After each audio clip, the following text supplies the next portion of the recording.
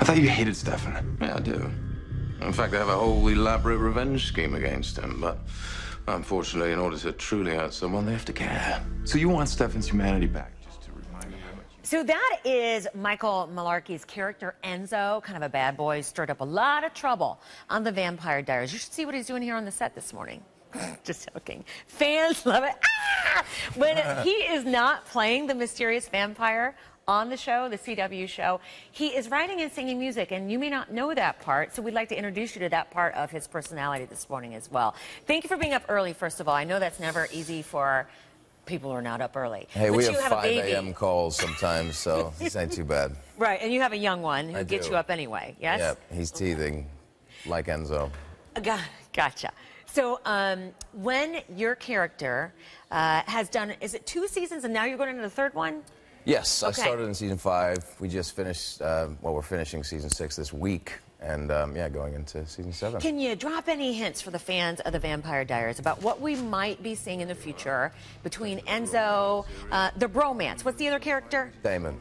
Okay, yes, Yeah. yes.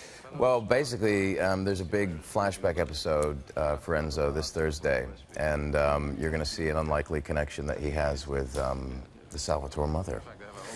So um, there's some cool stuff coming up. The flashback episode's pretty amazing. Had a great time shooting it. So. How did you not get a big head when you were killed off? The Vampire Diaries, and then they brought your character back. I mean, that's that's some pretty good pull with your fans there, buddy.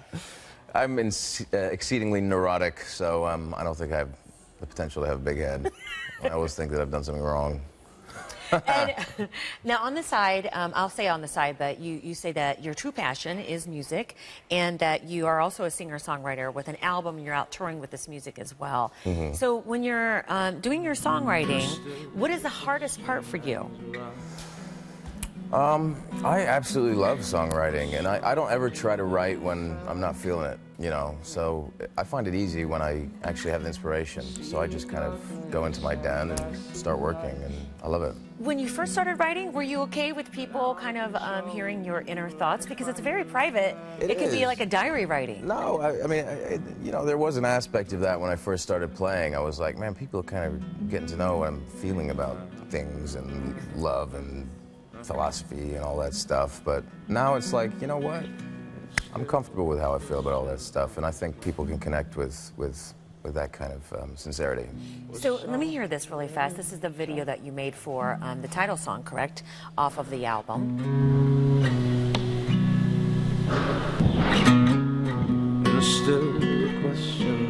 It's funny to me in your voice. It's a, you, you have a wonderful voice. Not a bad guitar player. I know that you say you are not some guitar aficionado. However, I do hear a little influence of Elvis, whom you have played on stage. That's correct. Yeah, I played Elvis in the West End in London for a year. And that was part of the reason why I actually started playing music again. You know, it kind of gave me the confidence playing in a theater of 1,000 people, you know, loads Yeah. of sold out shows. And I was completely underconfident that I wouldn't, you know, I didn't think I got that role at all. But Yeah. seven rounds of auditions, finally got it. And I was like, really? Okay, give it a go. And, um, yeah, Boy from my confidence a Ohio plays Elvis. I love it. I well, love you it. know, I was in London as well, so there was a smaller pool of American actors, so my chances were greater. You're a modest man. Okay, now the, the viewers have asked questions, okay? Okay. So um, this fan says, please ask him if we're going to see more of Damon and Enzo, the bromance. You kind of answered that. Um, I want to ask this question. Your Feed the Flames album was nothing short of amazing. Will we hear a sequel soon? I guess they've already devoured that album. Yes, um, I am actually planning to record here in Atlanta um, at the beginning of May. So I'm going to do another EP. It's going to be a lot more focused. All the new stuff that I've been working on kind of has a clearer uh, mission statement. So I'm, I'm really looking forward to getting that underway. What are you going to do if you ever have to choose between music and the show?